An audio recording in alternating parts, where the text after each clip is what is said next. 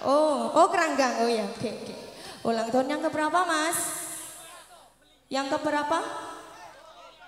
Oke, okay, yang kedua. Oke, okay, uh, uh, pokok doa aku yang terbaik buat keranggang ya. Uh, uh, semoga tetap kompak. Pokoknya yang terbaik saja ya. Kali ini spesial bareng Yuk Kecobong karena penontonnya cukup wow, luar biasa.